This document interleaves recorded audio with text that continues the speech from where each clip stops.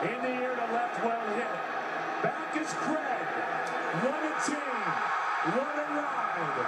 The Cardinals are world champs in 2011.